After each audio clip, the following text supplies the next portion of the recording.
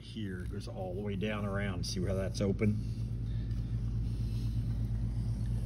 We want to fill that with caulk. So but I'll show you what we'll do here with it.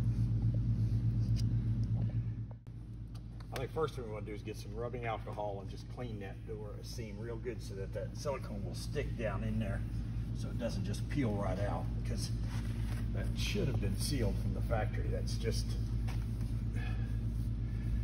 issue.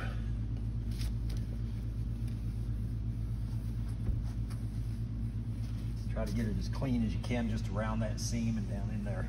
Good. And then we'll take some caulk. Make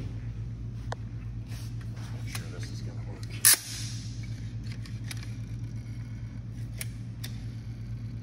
All right, so we'll start right up in that seam and just kind of caulk that right on down and let it kind of work that caulk right back in and fill that whole seam up as you go around. And come on, do the same thing on this side.